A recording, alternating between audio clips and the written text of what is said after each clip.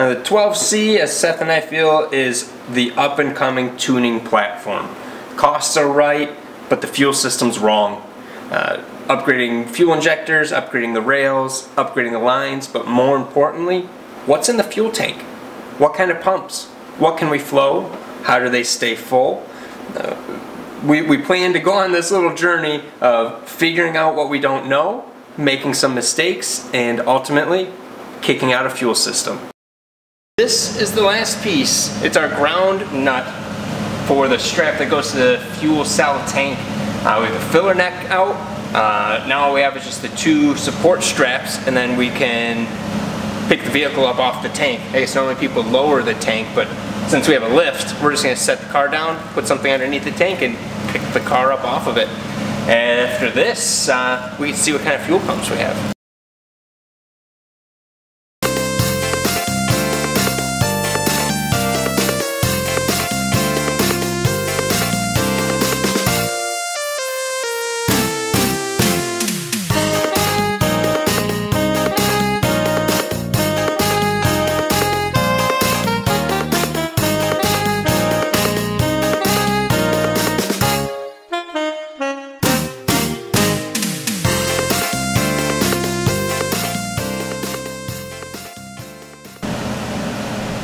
So as we've been going on, we've been getting sweatier and gassier.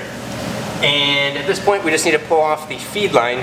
Got everything done, but I forgot to detach the feed line to the fuel rail. So we're doing that, and then the tank's on its way out. So, uh, to last all winter. Well, there's definitely something still connected to it. Nah. Huh. Well, that We did it! seems pretty darn light for having, what, there's probably 10 gallons of fuel in there? I mean, it's not laying on you, but When you heard, I heard. This is where I wish I didn't weigh so much. I shouldn't say that. I wish my gut wasn't so freaking huge. Alright. Use my body to keep you alive. Now I'll put my foot under it. There.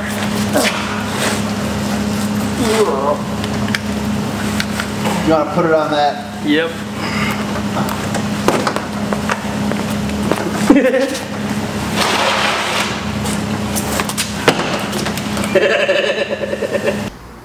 it's time to figure out what kind of pumps are inside. Brushless or brushed?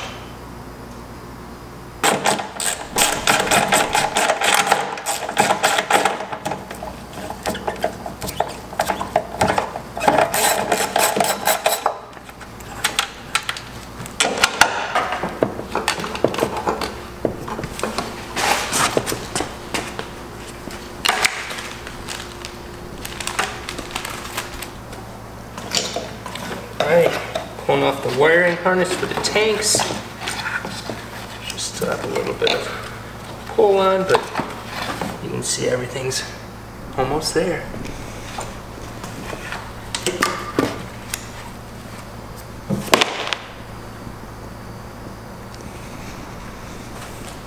Yeah, give that a whiff.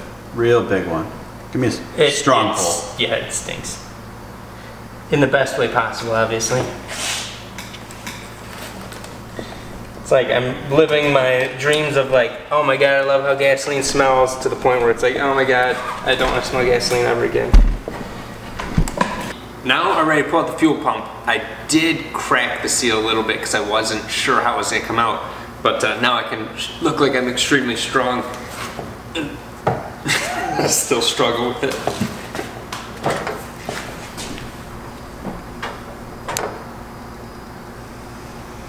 It's definitely getting there.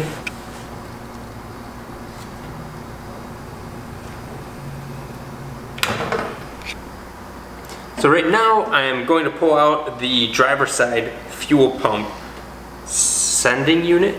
I just disconnected the Y connector that connects the two pumps and uh, a second line. I'm not, I'm not really clear what it's for. So pump's coming out right now. And we have added some safety.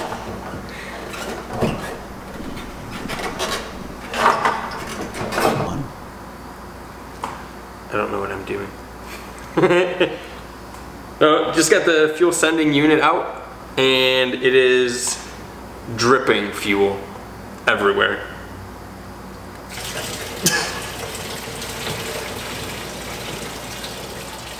That's kind of cool. It's like its own little surge tank. It's it sits in just a big cavity of fluid, well, fuel. For his first magic trick, per McLaren, you have to siphon the hose by mouth. So I can't get the other fuel pump out because I'm not positive how to remove the fuel line, but I did get this one out and they're both the same. So now I'm going to remove the fuel pump from the surge tank casing.